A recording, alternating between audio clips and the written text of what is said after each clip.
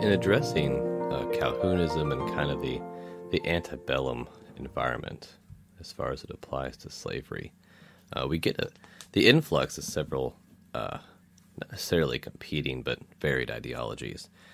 Uh, so in the prior episode, we talked about Calhounism and addressed kind of its early roots and uh, various German philosophies, uh, primarily uh, Hegelianism. Uh, at the brief mention at the at the the, the French uh, revolutionary um, who really, for all intents and purposes, uh, formed the ideological roots of what was later adopted uh, as Marxism uh, and communism more generally. But today we're going to talk about a gentleman named George Fitzhugh. Um, he was a legendary fire eater, Democrat, uh, one of the radical and fanatic pro slavery Southerners at the time, uh, one of the most formative uh, thinkers of the time as well.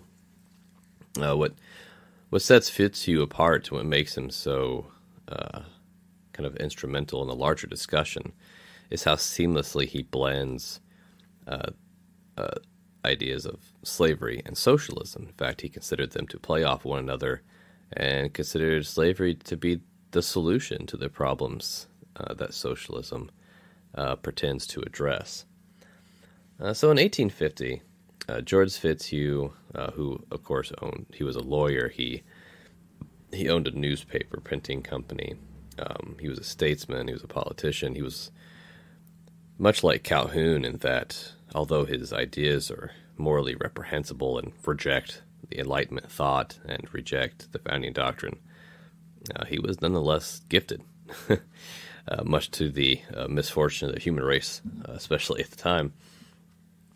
But in 1850, um, he attempted to enshrine all of these kind of pro slavery, socialism as great ideas uh, in a book titled The Universal Law of Slavery, uh, which the title should already kind of inform uh, inform us on on where he stands on the issue, uh, where where slavery is actually universal law, right? So that's implying, of course, that it's codified into the body politic through various uh, governing institutions. So throughout this book, uh, he he touches on several elements that uh, we described earlier as, as parts of Calhounism. Uh, he discusses blacks as children, who must be governed by uh, their masters, who then are obligated to behave as parents.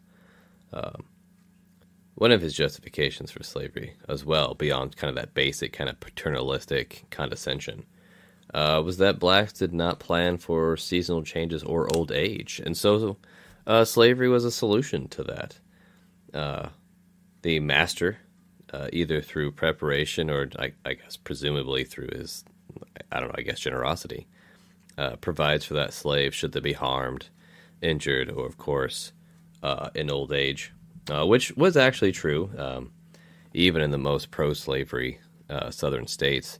They did have many series of laws that were meant to protect the life of slaves, uh, which was something, even though slavery wasn't abolished, uh, the founding doctrine did find some roots in that it, it even if they would admit it, uh, slaves were still treated as humans in many systems of law uh, that provided for their protection and put certain restrictions. Now, how often these were enforced, yeah, it's a whole different subject uh, based on kind of the localities. But another uh, another idea put forward by uh, Mr. Fitzhugh here is that socialism is also a good solution uh, to the larger black-white kind of, I guess, conflict uh, in that there's no way that free blacks could ever hope to compete with whites in a free labor system. And the reason for this was, of course, you know, going along with the guiding Democratic Party philosophy at the time, blacks were not only intellectually inferior to whites, but they had insufficient work ethic as well. So we're getting a little hint of that environmental determinism in there as well. Uh, as well, uh, you know, in addition to just kind of a, a convenient kind of prejudice and stereotype. Uh, he also, and this was a positive argument throughout the time, uh, you know, Southern slavery protected blacks from even worse life in Africa and, crueler forms of slavery in Africa. And of course, it had the added benefit of introducing him to Christianity. Uh, so the the he, he kind of claimed that this exposure then instilled in them a sense of morality that they would never have achieved, you know, in barbaric, savage Africa. And of course, nestled within that idea is that, you know, you're saving souls, right? Uh, left to their own devices, they would inevitably uh, not uh, muster support to uh, to pass into heaven. Uh, so the the slave owner is not just providing for them materially, but I guess protecting their immortal souls. Uh, you know that. Now, what Fitzhugh does that's unique to this, though, is he starts to adopt this idea of wage slavery, uh, which again was not a new idea. Uh, it was posited, of course, by Marx and by others before him. Uh, and really, it's kind of been an element of economic theory, well, probably since it was ever imagined. So he incorporates this, though, into the larger uh, kind of kind of uh, social slavery development at the time, because you know, the north at this point is heavily industrialized. Uh, their production capacity far outpaces the south. Uh, their employed populations far outpace the south. But Fitzhugh argued that blacks who were enslaved in the south actually were more moral than free white laborers. And he claims that these white laborers in the north are in fact criminals who beat and murder their wives on a daily basis. So he really deviates kind of from the believability to the sensational.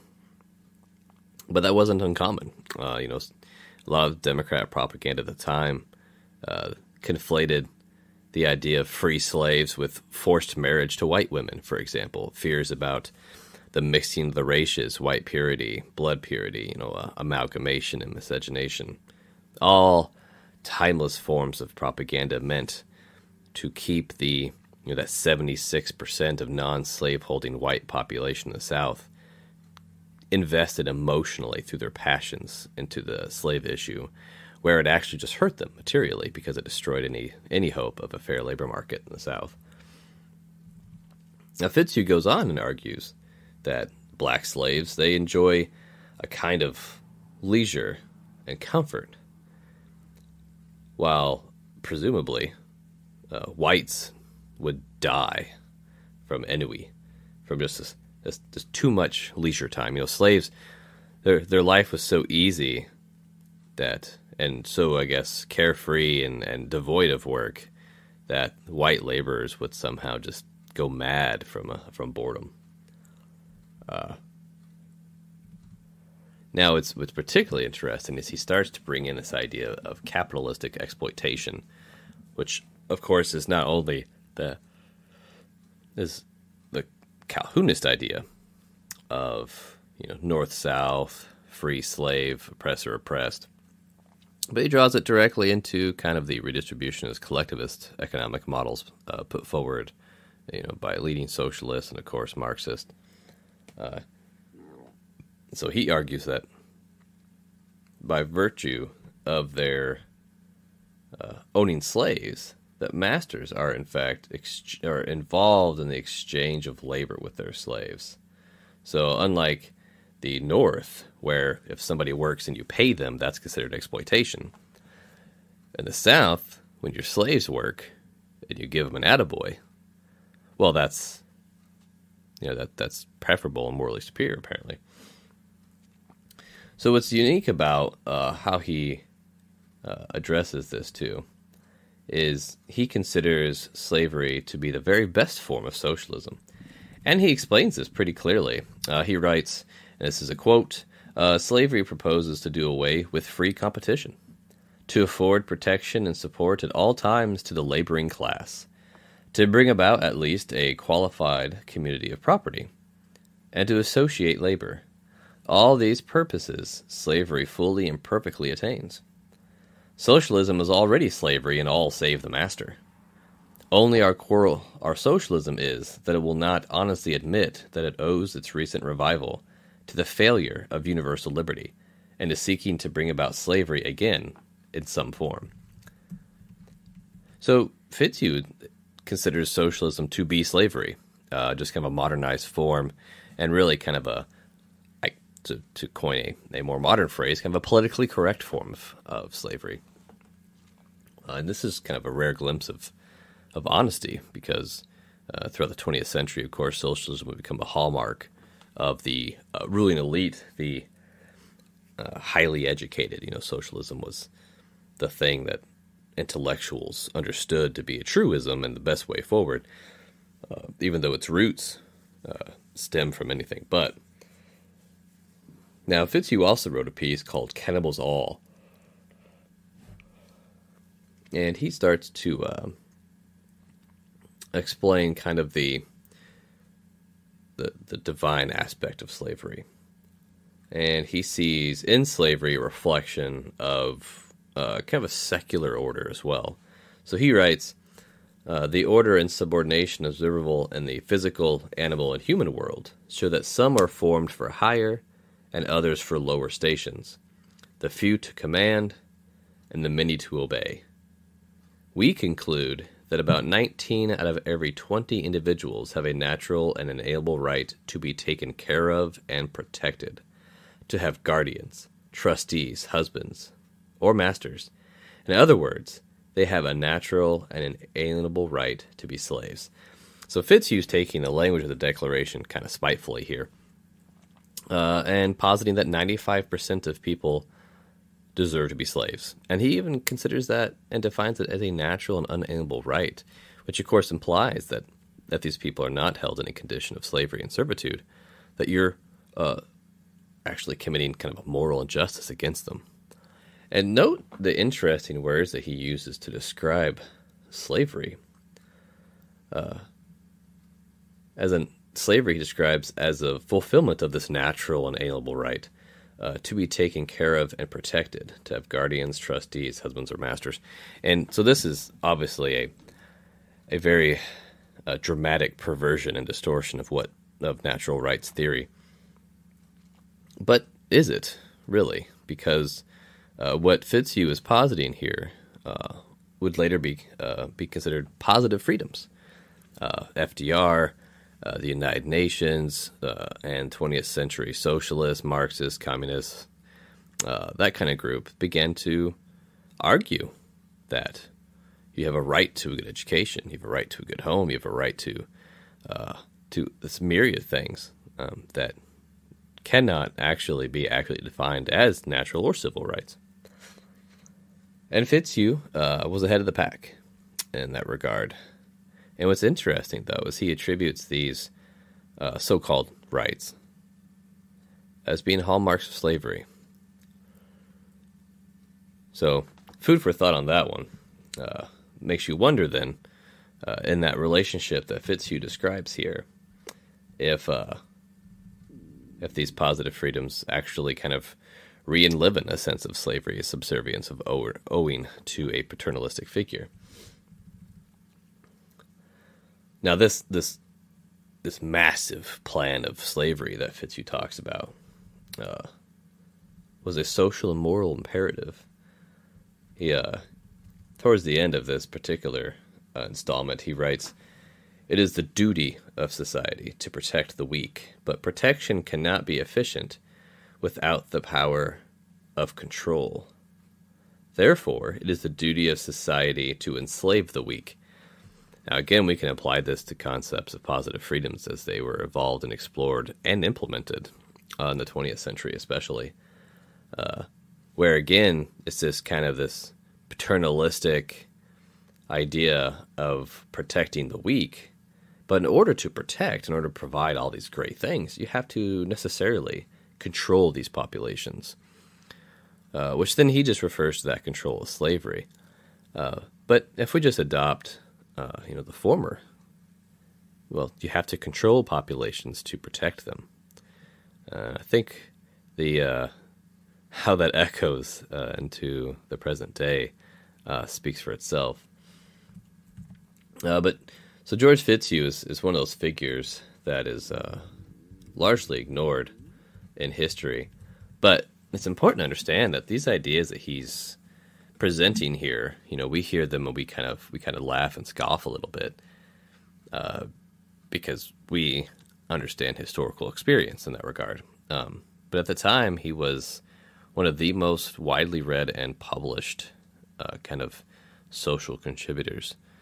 So his ideas were being consumed and entertained with a level of seriousness that they don't uh, foster today. Although one wonders, uh, especially given the uh, racist roots uh, of Marxism and kind of the paternalistic uh, idea of a ruling elite, you know, a vanguard.